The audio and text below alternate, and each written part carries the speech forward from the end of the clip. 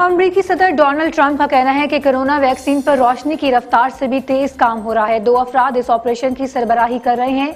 इस प्रोजेक्ट का नाम वॉर अप स्पीड है।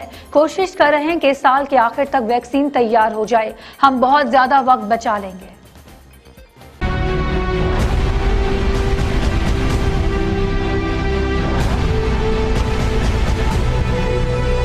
Phases of vaccine trials, Operation Warp Speed will be simultaneously accelerating its manufacturing and manufacturing process. In other words, we're getting ready so that when we get the good word that we have the vaccine, we have the formula, we have what we need, we're ready to go, as opposed to taking years to gear up. We're gearing up.